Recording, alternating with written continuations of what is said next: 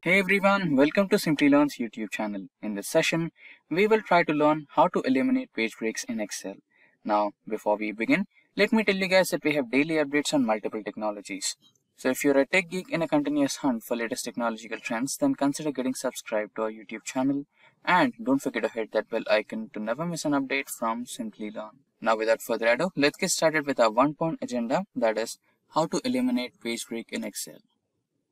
Now we are on the spreadsheet. So here, what exactly are page breaks? So page breaks are something which help you during you're trying to print your data or present your data in the form of a web page, right? In those times, you cannot fit your entire Excel data in one spreadsheet or one paper or one web page, right? So in those scenarios, Excel will try to eliminate a few parts of your spreadsheet or it will try to split the spreadsheet. So how exactly it looks like?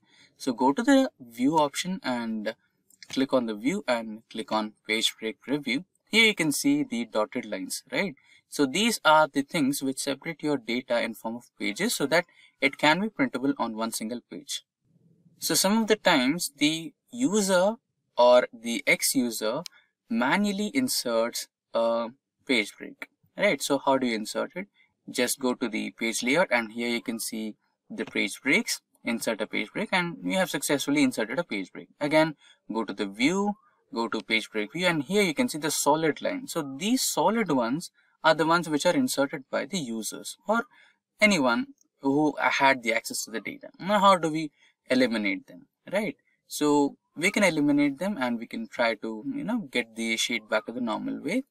So all you have to do is click on the cell which has the page break, which is right under the page break go to the insert page break yeah page layout menu go to the breaks option click on remove page break. And there you go you have successfully eliminated the page break. And page break preview to make sure that the page break has been successfully removed. So you cannot see that anymore. So that's how you try to insert or eliminate a page break in excel. Now with that we have come to an end of this session on how to eliminate page break in excel if you have any queries regarding any of the topics covered in this session or if you require the resources that we used in this session, then please feel free to let us in the comment section below and our team of experts will be more than happy to resolve all your queries at the earliest. Until next time, thank you, stay safe and keep learning.